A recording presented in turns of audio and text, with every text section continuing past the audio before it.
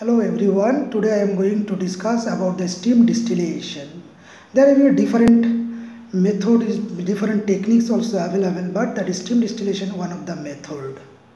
So whatever chemicals or maybe that solvent system we are going, we are using for that synthetic purpose or analytical purpose, that should be completely free from any kind of impurities because this presence of this impurity may causes that uh, or maybe maybe destroy the reaction maybe produce some byproducts.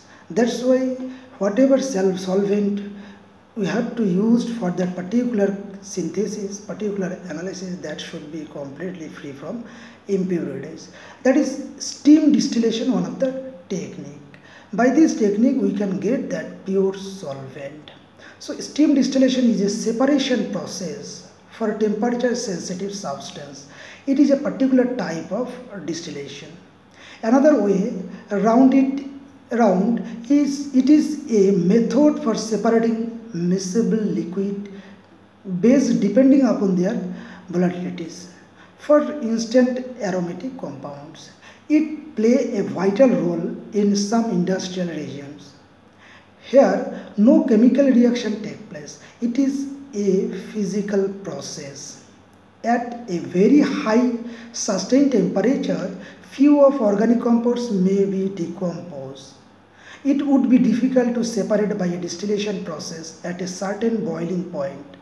Steam will be introduced into an apparatus that is known as distillation apparatus. Condensed liquid phase separates that are vaporized water vapor carries compounds and they are placed in a condensation flask that is placed by nearby placed nearby. Now distillation take place at a lower temperature.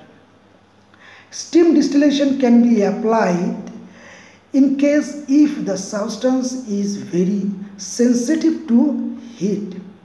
Vapors are condensed after distillation process